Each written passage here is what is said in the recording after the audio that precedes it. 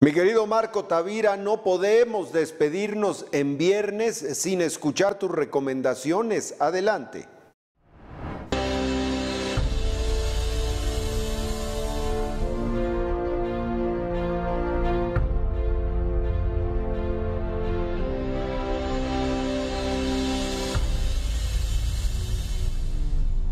Bienvenidos a Cine Frecuencia, soy Marco Tavira y les voy a presentar las mejores reseñas cinematográficas para ver en casa. Hoy hablaremos de la serie mexicana realizada para Netflix llamada Oscuro Deseo, de recién estreno. Quizás sea un prejuicio, pero es difícil como público decidir ver una serie o película que incluye en su reparto a actores que en su momento realizaron algún trabajo para la televisión mexicana. Por este motivo, hoy, al ver Oscuro Deseo, nos resulta sorprendente la actuación de Maite Perroni, protagonista de esta serie. Maite se despoja de cualquier imagen que tengamos de ella, ya sea por su aparición en alguna telenovela o por su faceta como cantante, y nos entrega un trabajo muy digno. De igual manera ocurre con el actor Eric Heiser, que igual aparece en esta serie con un papel que causa impacto por su transformación física y su fuerza interpretativa. Aunque el protagonista masculino de esta serie es Alejandro Speitzer, no podemos negar que su carisma le ayuda a sostener esta actuación de una manera muy positiva.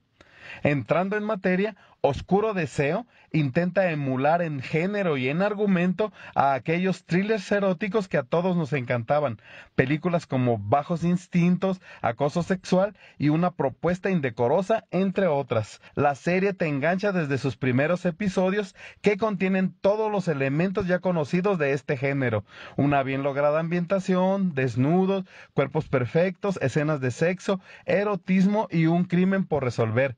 Mírenla sin problema.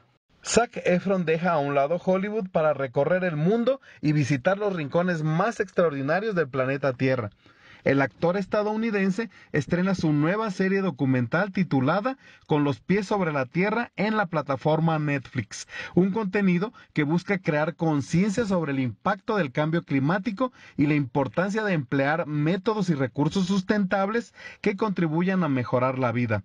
Este nuevo documental explora una faceta de Zac Efron que sus seguidores desconocían, su pasión por la naturaleza. Junto al actor, la audiencia descubrirá lugares paradisiacos de todo el mundo, así como su gastronomía y tradiciones. Con los pies sobre la tierra cuenta con ocho capítulos que capturan el viaje del actor por todo el mundo.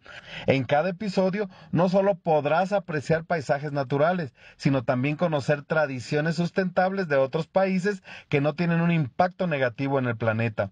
Desde el estreno de esta serie el pasado 10 de julio, Zac Efron ha sido tendencia en varias redes sociales. Una de las noticias más tristes de este año, ya de por sí estresante, fue la muerte hace unos días de la querida actriz de origen puertorriqueño Naya Rivera, que dio vida al personaje de Santana López en la recordada y exitosa serie Glee.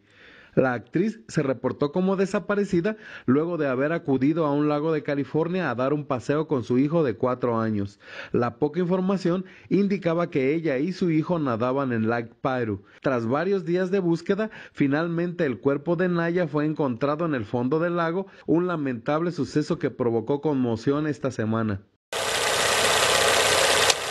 Gracias por haberme acompañado aquí en Cine Frecuencia. Soy Marco Tavira. Nos vemos la próxima ocasión.